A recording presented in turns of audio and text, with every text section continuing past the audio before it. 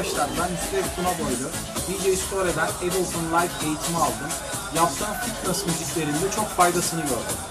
Ableton öğrenmek istiyorsanız DJ Hıdır Akgül'den eğitiminizi almanızı tavsiye ederim. Teşekkür ederim.